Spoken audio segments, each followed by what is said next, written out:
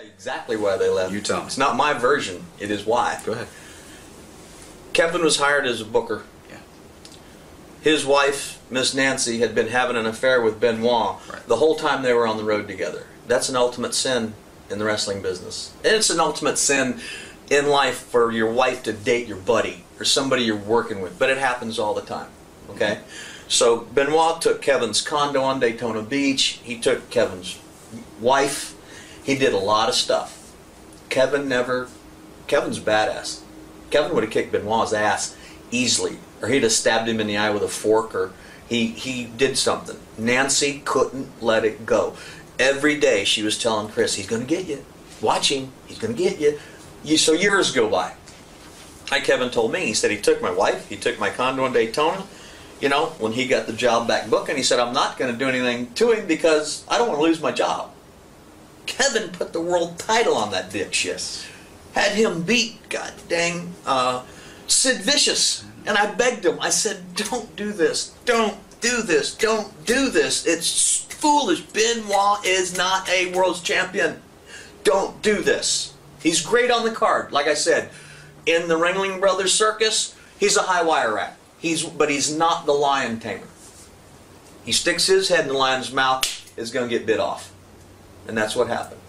We were in, Kevin got the booking job.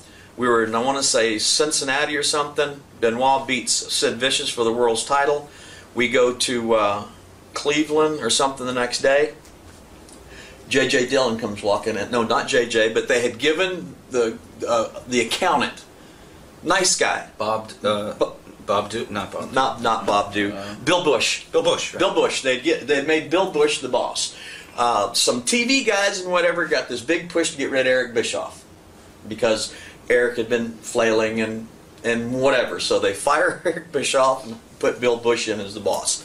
So Kevin puts the world championship, world title on Benoit. Bill Busch comes in the dressing room with Kevin and I, and he said, "Guys," he said, "I," he said, I, I, I know what I'm going to do, but I just want to tell you." He said, "Benoit, Guerrero, uh, Perry Saturn, the blonde-haired guy that was a skateboard guy for a while that looked kind of good but never drew a dime. I don't know. He worked, Shane. Shane Douglas, uh, and somebody else said they're all going to leave if if I don't fire Kevin and you and JJ Dillon. I said, what? Said, quote unquote, Benoit said he can't trust his career in Kevin's hands.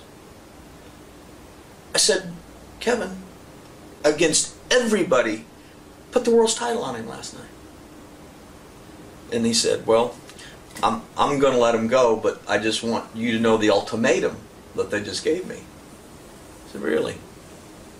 So I walked out of the dressing room. I found Benoit. I took and sat his ass down in the middle of the arena where nobody was around. I said, let me tell you something, you worthless. I won't use the language I You can say it. But I said, Kevin Sullivan is your biggest pusher.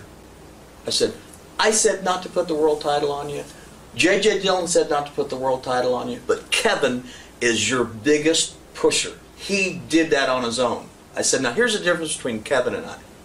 If you'd have taken my wife, I would kick your ass every time I saw you for the rest of your life. That's what I'd do. But I said, now, now that you've tried to take my job because I'm Kevin's friend and you want to fire me, I said, I'll cut your fucking head off and put it on a stick in front of your house for all the kids to throw rocks at it. I said, I'm not the guy to mess with. He got up and I said, come on, let's roll. Tough guy, you know, let's go. And I was 50 at something at the time, I don't know. And he ran off through the building, oh my God, oh my God. About an hour later, here comes JJ. He walks in. He said, Mike, what did you do? Said, I didn't do anything. He said, the lady at Human Resources just called me and said that, that Benoit called her and that, that, that Mike Graham in the upper office had threatened his life. And I said, JJ, you've known me a long time. Would I do that? He said, oh yeah. I said, no, no, no, no, wrong answer. I said, let me call the lady. She said, don't. I said, let me call her. So I call her. Hi, how are you? Mike Graham, yes ma'am. Uh, I just had a, uh, she wouldn't tell, she, like we don't know. Well, I just had a complaint from a wrestler that said you threatened his life. I said, here's the way it is. this is a very violent sport we live in. We're not we're not selling candy bars and crap like that out here. You know, I said I've grown up. I said all I told Chris was that if he had taken my wife and totally embarrassed me in front of my friends, my comrades, my everything, that I'd whip his ass every time I saw him.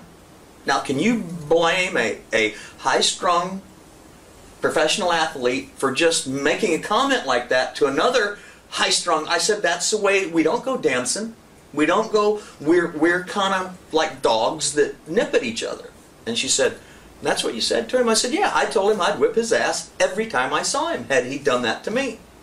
Where he didn't, Kevin didn't do nothing, you know. And he said, "Oh well, yeah, I can understand that." So then when when he didn't get her to do anything to me, and when Bill Busch wasn't going to fire Kevin, then that's when I call them the little band of midgets.